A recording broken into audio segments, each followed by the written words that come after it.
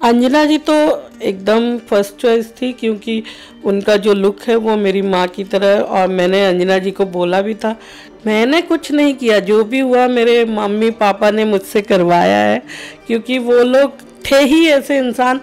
मैंने दोनों जन को जानती हूँ बट इतना अभी मिल नहीं पाई हूँ दोनों लोगों से। अंजना जी या देव भैया या सुशील सिंह भैया सबने अपने अपने रोल को बखूबी निभाया है। अच्छे एक्टर हैं पवन भैया भी और केसारी लाल जी भी। तो हम नमस्कार मैं हूँ गीता सिंह और आप मुझे देख रहे हैं देसी भारत में best of luck for Desi Bharat. Thank you. Geeta ji पहले तो आपका स्वागत है देसी भारत में। Thank you. पहले तो मैं आपको हैट्स ऑफ़ कहना चाहूँगी। आप अपने पिताजी पे बायोपिक बना रही हैं उनके संघर्ष की कहानी लोगों तक पहुँचा रही हैं। क्या कहना चाहेंगी? थॉट प्रोसेस क्या था? थॉट कुछ नहीं था। मुझे अपने पिताजी पे मतलब लोगों तक पहुंचाना ये तो एक सूरज को दिया दिखाने जैसा है। ऑलरेडी लोग उनके बारे में बहुत कुछ जानते लेकिन मैं चाहती थी कि जो नई जनरेशन आ रही है जो वो जाने उनके बारे में इस वजह से और उनको एक श्रद्धांजलि देने के लिए मैंने सोचा कि एक बायोपिक बनाऊँ। जी और देव सिंह और अंजना सिंह को आ, कास्ट करना क्या वो पहले चॉइस थे इस कैरेक्टर के लिए? अंजना जी तो एकदम फ़र्स्ट चॉइस थी क्योंकि उनका जो लुक है वो मेरी माँ की तरह और मैंने अंजना जी को बोला भी था कि जब भी मैं मूवी बनाऊँगी हंड्रेड एंड वन परसेंट पहला चांस मैं आपको ही दूँगी। और देव सिंह जी जो हैं उनके लिए मेरे लोगों ने उदय भैया जो मेरे क्रो को प्रोड्यूसर हैं उन्होंने मैं फ़िल्म इंडस्ट्री के मैं बहुत लोगों को नहीं जानती थी भोजपुरी इंडस्ट्री से। तो उदय भैया ने और हमारे डायरेक्टर धीरज पंडित जी ने देव भैया का नाम सुझाया कि वो बहुत अच्छे एक्टर हैं तो इसलिए फिर उनको सिलेक्ट किया। इंस्टाग्राम पर जी जी। काफ़ी मतलब मतलब सिमिलैरिटी इतनी सारी है जी। ऐसे लग रहा है हाँ परफेक्ट कास्टिंग जी। की गई है। जी। आपने जब उनको उस लुक में देखा तो आपका रिएक्शन क्या था? डेफिनेटली आप थोड़ा इमोशनल तो हुई होंगी। वो तो सही बात है कि वो लोग एकदम मतलब हम तब छोटे थे तो इतना ध्यान नहीं था, लेकिन जब देव भैया और अंजना सिंह को देखा और वो फ़ोटो को मैच किया तो एकदम, और इनफैक्ट जो ये शूटिंग जो है मेरे गाँव में हुई, जहाँ भरौली गाँव से हम बिलोंग करते, वहाँ के जो बुज़ुर्गों ने देखा देव भैया को तो उन्होंने बोला, आप एकदम बाबू राम निवास सिंह जैसे ही दिख रहे हैं। तो सुन के बहुत अच्छा लगा कि हमारा मतलब कहीं ना कहीं हम एक परसेंट सफल हो गए अपने काम में जी अच्छा जब आपने ये डिसाइड किया कि हाँ अब जो फ़िल्म बनानी है। तो किन किन लोगों ने आपको सपोर्ट कर? आपकी फैमिली जो है, उनका क्या कुछ रिएक्शन था पहला? मेरे पिताजी जो हैं, दो सेकेंड जनवरी 2022 में हम लोगों से दूर चले गए। तो ऐसे ही घर पे बैठी थी तो मैंने अपने ब्रदर को बोला कि मुझे कुछ करना है फ़िल्म लाइन में। तो उसने बोला, अपने पापा से अच्छी क्या स्टोरी हो सकती है? तो जब उसने बोला तो मैं हाँ सही बात है। और मेरा पूरा परिवार, मेरी बहनें हैं, मेरे जितने भाई, हम ज्वाइंट परिवार हैं। सबने मेरा भरपूर साथ दिया, मेरे हस्बैंड सबने साथ दिया। तभी आज ये मूवी शूटिंग जिसकी कंप्लीट हो चुकी है सिंह साहब द राइजिंग और अंजना सिंह की अगर मैं बात करूँ तो वो आपकी तारीफ़ करते हुए नहीं थके थी। उस चीज़ के लिए तो आपको अप्रिशिएट किया है कि आप बायोपिक बना रहे अपने पिता के ऊपर। लेकिन एज अ प्रोड्यूसर भी आपकी काफ़ी तारीफ़ की, क्या कहना चाहेंगे मैंने कुछ नहीं किया, जो भी हुआ मेरे मम्मी पापा ने मुझसे करवाया है, क्योंकि वो लोग थे ही ऐसे इंसान। हम अपने आप को भाग्यशाली समझते कि हम उनके बच्चे बन के पैदा हुए इस जन्म में, और उन्होंने जो हम लोगों को बड़ा किया है जिस ढंग से, सबके साथ प्यार से रहना, लोगों तो बस लोग उसी को अप्रिसिएट कर रहे हैं और कोई बात नहीं है। तो उनकी शूटिंग तो कंप्लीट हो गई है। अब पोस्ट प्रोडक्शन वर्क कैसा चल रहा है? जी लाइनअप है एडिटिंग शुरू हो चुकी है। मोस्ट हम मार्च में मूवी लास्ट हम रिलीज़ कर देंगे फ्लोर पे। आ जाएगी। किस तरीके से प्रमोट करने का आपने सोचा है? कहाँ कहाँ रिलीज़ करेंगी? थिएटर्स के बारे में क्या जानकारी देना तो यूपी और बिहार में तो रिलीज़ होगी ही। मुंबई में भी, जहाँ पे नॉर्थ इंडियन कम्युनिटी ज़्यादा है, हम सोच रहे हैं कि हम वहाँ पे भी रिलीज़ करें। और जैसे ही हमारी एडिटिंग कंप्लीट होगी, फिर हम, हमारी जो टीम है, बैठ के डिसाइड करेंगे कि प्रमोशन कैसा करना है और क्या करना है। गीता जी ऑब्वियसली आप हमेशा अपने पापा के हर एक क्वालिटी से इंस्पायर्ड रहेंगे। लेकिन कोई एक ऐसी उनकी बात जो आप, हमेशा आपके जहन में रहती कि हाँ ये मैं कभी नहीं भूल सकती, ये तो रहेगा ही रहेगा। उनकी एक ही चीज़ है, गलत मत करो। गलत नहीं करोगे तो लोगों से डरने की ज़रूरत नहीं होगी।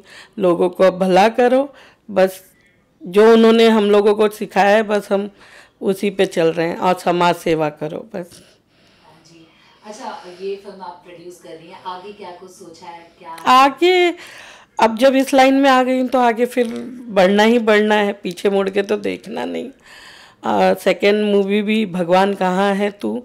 मार्च फ़र्स्ट वीक में आ जाएगी लाइनअप पे। जी और हमारे जो भोजपुरी के एक पावर स्टार हैं ट्रेंडिंग स्टार हैं खेसारी लाल यादव और पवन सिंह इनको लेकर क्या कुछ सोचा है? मैंने दोनों जन को जानती हूँ बट इतना अभी मिल नहीं पाई हूँ दोनों लोगों से।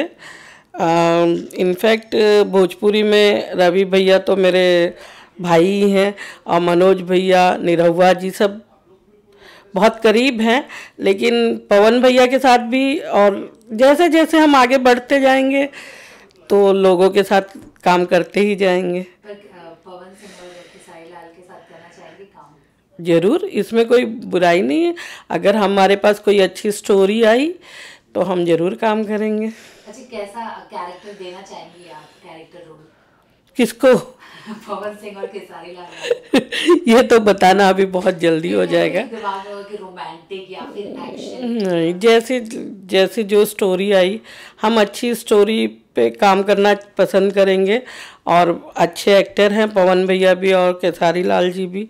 तो हम बहुत जल्द अच्छी मूवी उनके साथ भी करेंगे। जी। अच्छा फ़िल्म की अगर मैं बात करूँ तो फ़िल्म की शूटिंग जिस तरीके से चली है लोकेशन वाइज क्या कुछ कैसा होने वाला है? दर्शकों को कहाँ कहाँ का लोकेशन देखने को मिलेगा? एक तो आपने बता दिया आपके गाँव में हो शूटिंग जी। अभी तक तो मोस्टली हम लोग यूपी में ही शूटिंग करेंगे। और जैसे जैसे हम और आगे बढ़ते अभी क्योंकि हम नए हैं इस फ़ील्ड में तो बहुत जल्दी कुछ बहुत बड़ी बड़ी बातें करके और बाद में कुछ नहीं करना वो उस पर मैं यकीन नहीं करती हूँ। मेरा ये है कि हम काम करते जाएँगे और जैसी आ, स्टोरी की डिमांड आएगी जहाँ शूटिंग करना होगा हम ज़रूर जाएँगे। कोई एक ऐसा दौर आप शेयर करना चाहेंगे दर्शकों से अपने माता पिता के साथ? कोई ऐसी चीज़ जो आप you know, एक ऐसा एक यादें हाँ, यादें-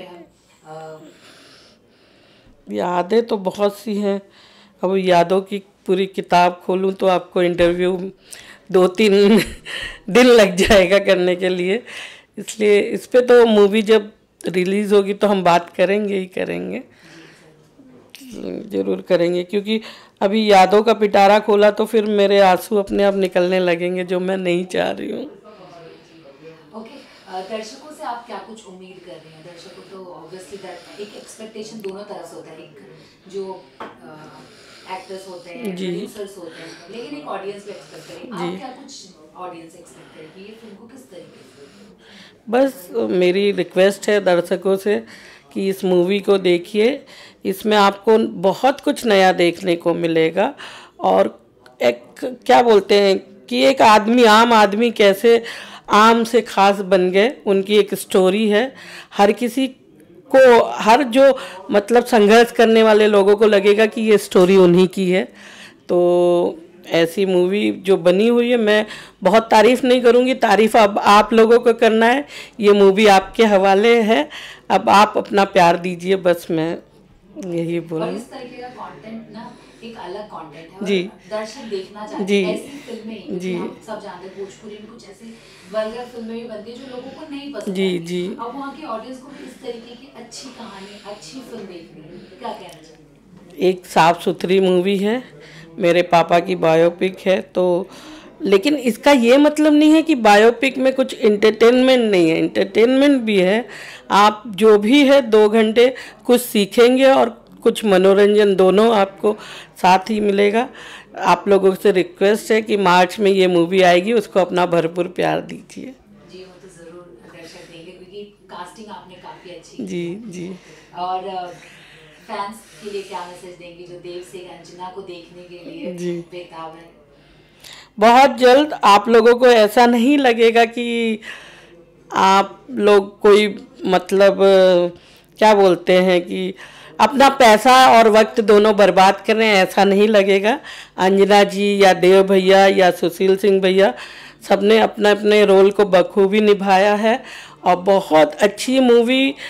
ये नहीं कि मेरे पापा की बायोपिक है, इसलिए मैं बोल रही हूँ एज ए एक्टर वो लोगों ने सबने अपना अपना काम अब बहुत जी जान से किया है किसी को कुछ सबने अपनी मूवी समझ के काम किया है तो प्लीज़ इस मूवी को देखिए बस आप लोगों से यही रिक्वेस्ट है। एक और क्वेश्चन मेरे दिमाग में है टाइटल को लेकर क्योंकि टाइटल काफ़ी दमदार है जी। और ये टाइटल कितने टाइटल्स के बाद जाके डिसाइड हुआ या फिर पहला यही दिमाग में था कि सिंह साम द राइजिंग सिंह साहब पापा को जो है आम पब्लिक सिंह साहब बोलती थी। तो ये वाला टाइटल उदय भैया ने और धीरज भैया ने सबने डिसाइड किया कि सबसे अच्छा टाइटल इससे अच्छा टाइटल कोई हो ही नहीं सकता है। सिंह साहब द राइजिंग और हमको लकीली फ़र्स्ट टाइम में ही हमको इम्पा से रजिस्ट्रेशन भी मिल गया इसी नाम पे। तो कहीं ना कहीं सब चीज़ हमारे फेवर में चल रही थी और सब अच्छा हो रहा है। बस आगे अब दर्शकों से रिक्वेस्ट है कि वो भी कुछ अच्छा ही करें। ज़रूर होगा और इसी बात के तरफ़ से भी हम आपको ढेर सारी शुभकामनाएँ देते Thank कि you. जब ऑडियंस बाहर निकले इमोशनल होकर और इंस्पायर्ड होकर thank you thank you thank you